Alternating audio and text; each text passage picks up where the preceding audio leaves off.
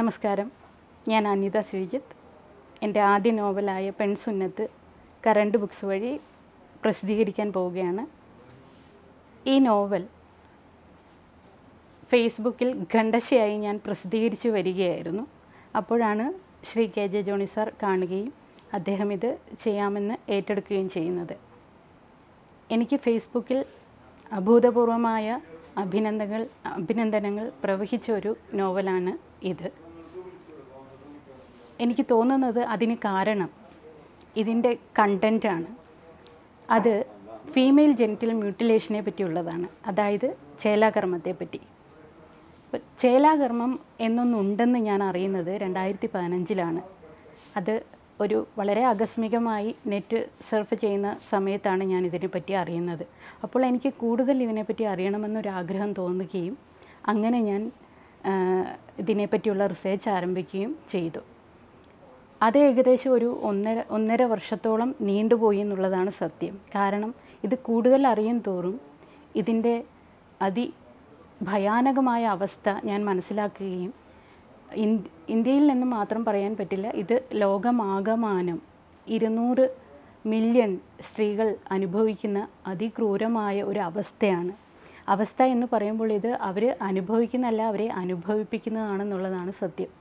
അതായത് അവരുടെ സമ്മതമില്ലാതെയാണ് ഇത് നടക്കുന്നത്. കൊച്ചുകുട്ടികളിലും സ്ത്രീകളിലും ഇത് ബലമായി പച്ചയ്ക്ക് അവരുടെ ലൈംഗിക അവയവങ്ങൾ മുറിച്ചു മാറ്റുന്ന ഒരു പ്രക്രിയയാണ്. Type one type two type three എന്നിങ്ങനെ മൂന്ന് ടൈപ്പിലാണ് ഈ പ്രക്രിയ നടക്കുന്നത്. അതും ഇത് കൂടുതലും നടക്കുന്നത് പച്ചയായ ശരീരത്ത് പച്ചയ്ക്ക് കത്തി വെച്ചിട്ടാണ് നടത്തുന്നത്. അതായത് ആശുപത്രിയിലെ ഡോക്ടർ വരികയോ മരവിപ്പിക്കുകയോ ഒന്നും ചെയ്യാതെ വളരെ പച്ചയ്ക്കാണ് അവരെ ശരീരം കീറി മുറിച്ച് ഇത് നടത്തുന്നത്. അതുമൂലം തന്നെ ഇത് സ്ത്രീകൾക്കെതിരെയുള്ള കൊടും ക്രൂരതയാണ്. ഇത് കൊടും ക്രൂരതയായി മുദ്രകുത്തി ഇതിന് ശിക്ഷകളുണ്ട് എന്ന് പറയുമ്പോൾ തന്നെ ആണ് തൊണ്ണൂറ് ശതമാനത്തോളം സൊമാലിയ പോലെയുള്ള ഒരു രാജ്യത്ത് തൊണ്ണൂറ് ശതമാനത്തോളം സ്ത്രീകളാണ് ഇത് ചെയ്തിരിക്കുന്നത്. ഈ അറിവ് എന്നെ വളരെയധികം നടുക്കി എന്നുള്ളതാണ് സത്യം. അപ്പോൾ എനിക്ക് കൂടുതൽ അറിയണമെന്ന് തോന്നുകയും ഞാൻ അതിനെപ്പറ്റി പഠിക്കുകയായിരുന്നു. ഇത് പഠനം എന്ന് പറയുമ്പോൾ ഞാനിപ്പോൾ ഒരു റിസർച്ച് നടത്തിയത് എന്റെ ഫുൾ ടൈം രീതിയിലല്ല. എന്റെ ജോലിക്കിടയ്ക്ക് എന്റെ വീട്ടു ജോലിക്കിടയ്ക്ക് കുട്ടികളെ നോക്കുന്നതിനിടയ്ക്ക് അങ്ങനെ കിട്ടുന്ന തുച്ഛമായ സമയങ്ങൾ കൂട്ടിവെച്ചാണ് ഞാൻ രണ്ട് വർഷത്തോളം ഈ നോവലിനായി പഠനം നടത്തിയത്. അപ്പോൾ കിട്ടിയ ഒരു അറിവ് എന്നെ സംബന്ധിച്ച് വളരെയധികം വളരെ വളരെയധികം ഷോക്കിംഗ് ആയിരുന്നു. അപ്പോൾ ഞാൻ വിചാരിച്ചു ഓക്കെ എനിക്ക് എന്തെങ്കിലും ചെയ്യാൻ കഴിയും ഇതിൽ നിന്നും. ഞാൻ വരയ്ക്കുന്ന ഒരാളാണ് ആർട്ടിസ്റ്റാണ് ഫൈൻ ആർട്സ് കഴിഞ്ഞതാണ്. അപ്പോൾ ശരി ഒന്നെങ്കിൽ വരയ്ക്കാം അല്ലെങ്കിൽ എഴുതാം. ഇത് രണ്ടും എന്റെ കയ്യിലുള്ള ഒരു കഴി ഓരോ കഴിവുകളാണല്ലോ. അപ്പം ഞാൻ വിചാരിച്ചു ഓക്കെ എഴുതാം ഇതിനെപ്പറ്റി എഴുതാം. അപ്പോൾ ഞാൻ കൂടുതൽ പഠിക്കുകയും ഇതിനെ കൂടുതൽ ആൾക്കാരിൽ നിന്നും ഇത് യഥാർത്ഥത്തിലുള്ള കാര്യങ്ങൾ അറിയുവാൻ ശ്രമിക്കുകയും ചെയ്തു. അങ്ങനെ ആഫ്രിക്കയിൽ ഞാൻ ആഫ്രിക്കൻ കെനിയയിൽ തന്നെ ഒരു രണ്ട് രണ്ടോളം ഓർഗനൈസേഷനുമായി ബന്ധപ്പെട്ടു. അതുപോലെ നൂറുകണക്കിന് ഇന്റർനെറ്റ് സൈറ്റ് വഴി ഞാൻ കയറിയിറങ്ങി. വ്യക്തികളിൽ നിന്ന് വിവരങ്ങൾ ശേഖരിച്ചു.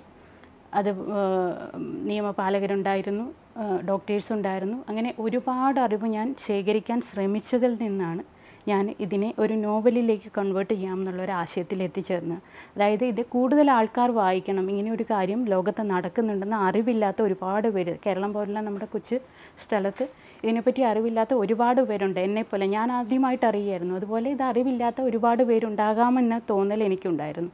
അപ്പോഴാണ് ഒരു ഏകദേശം ഒരു വർഷം മുമ്പ് ഇത് കേരളത്തിലുമുണ്ട് എന്ന് നടക്കുന്ന ഒരു ഷോക്കിംഗ് ന്യൂസ് അറിയുന്നത്. അപ്പോൾ രണ്ടായിരത്തി പതിനെട്ടിലാണ് ഞാൻ ഈ നോവലായിട്ട് എഴുതി തുടങ്ങുന്നത്. അതുവരെ എന്റെ പഠനമായിരുന്നു നടന്നു പോയിക്കൊണ്ടിരിക്കുന്നത് അപ്പോൾ രണ്ടായിരത്തി പതിനെട്ടിൽ ഞാൻ എഴുതാൻ എനിക്ക് അധിക സമയം നോവലായിട്ട് എഴുതാൻ എനിക്ക് അധിക സമയം ഞാൻ എട്- എടുത്തില്ല. ഒരു രണ്ടര മാസം അതിക്കുള്ളിൽ പോയിട്ടില്ല. അപ്പോൾ അതിനകത്ത് ഞാൻ ഒരുപാട് എഡിറ്റിംഗ് വരുന്ന രീതിയിൽ ഇത് ചെയ്തു. നോവൽ എഴുതി തീർത്തു. എഴുതി തീർത്തതിന് ശേഷമാണ് ഞാനിതിനെ കൂടുതലും നന്നാക്കാനായിട്ട് വീണ്ടും അറിവുകൾ ഞാൻ തേടിക്കൊണ്ടിരുന്നു. അത് ലഭിച്ചുകൊണ്ടിരുന്നു.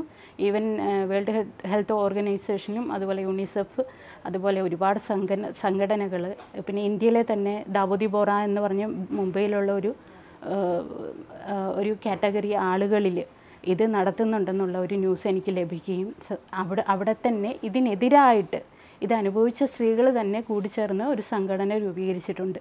അവരിൽ നിന്നും ഞാൻ എനിക്ക് കിട്ടിയ അറിവുകളും ഒക്കെ ഇതിന്റെ അകത്ത് ഈ നോവലിൽ ഞാൻ ഇൻക്ലൂഡ് ചെയ്തിട്ടുണ്ട്. അതുപോലെ തന്നെ കേരളത്തിൽ നിന്നും ഷാനി സൈന എന്ന പെൺകുട്ടി സധൈര്യം ഇതിനെപ്പറ്റി തുറന്ന് എഴുതാൻ ചങ്കൂറ്റം കാണിക്കുകയുണ്ടായി. ഞാൻ ആ കുട്ടിയെ വിളിക്കുകയും അവളിൽ നിന്നുള്ള കാര്യങ്ങൾ ശേഖരിക്കുകയും ചെയ്തിട്ടുണ്ട് ഈ നോവലിനായി.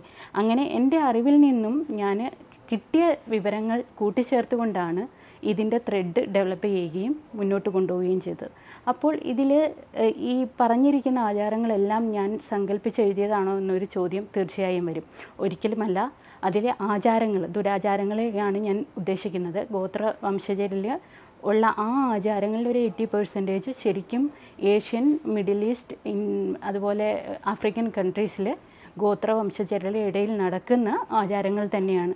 അതിൽ ഒരു ഇരുപത് ഉള്ള ആചാരങ്ങൾ ഞാൻ എന്റെതായ ഭാവനയിൽ നിന്ന് വന്നിട്ടുള്ളൂ. പക്ഷേ ബാക്കി ഉള്ളതെല്ലാം ഫിക്ഷൻ തന്നെയാണ്. എന്റെ ഭാവനയും ആളുകൾ സ്ഥലങ്ങൾ എല്ലാ ബാക്കി എല്ലാ കാര്യങ്ങളും എന്റെ സങ്കല്പത്തിൽ നിന്നുള്ളതാണ്. അപ്പോൾ ഞാനിത് മുന്നോട്ട് വെക്കുന്നത് അതായത് കേവലം ഒരു സാഹിത്യ കൃതി വായിച്ച് തള്ളുക എന്നുള്ള എന്നുള്ളൊരു ആശയത്തിലല്ല. ഞാനിത് മുന്നോട്ട് വെക്കുന്നത് fight against F G M എന്നുള്ള ഒരു കാര്യത്തിന് വേണ്ടി തന്നെയാണ് സ്ത്രീകൾക്ക് വേണ്ടി തന്നെയാണ്. ലോകത്ത് ആകമാനം നടമാടുന്ന ഈ ക്രൂരമായ അതിക്രൂരമായ ഈ അവസ്ഥയെ പാടെ ഉന്മൂലനം ചെയ്യണമെന്ന് ഞാൻ ആഗ്രഹിക്കുന്നു. അതിന് എന്നെ എന്നാൽ കഴിയുന്ന ഒരു ചെറിയ കാര്യം ഞാൻ ചെയ്യുകയാണ്. അപ്പോൾ വായനക്കാരായി നിങ്ങളെല്ലാവരും ഇത് മുന്നോട്ട് കൊണ്ടുപോകണമെന്നും ഇത് ക്യാമ്പയിൻ പോലെ ഇത് പാടെ നിർത്തലാക്കാൻ നമ്മളെല്ലാവരും ഇതിനായി സഹകരിക്കണമെന്നും ആഗ്രഹിക്കുന്നു ഞാൻ. ആ ആഗ്രഹത്തോടു കൂടി തന്നെ ഞാൻ നിങ്ങളെല്ലാവരോടും എന്റെ പുതിയ കൃതി വായിക്കണമെന്ന് എന്നെ അനുഗ്രഹിക്കണമെന്നും അപേക്ഷിക്കുന്നു. നന്ദി നമസ്കാരം.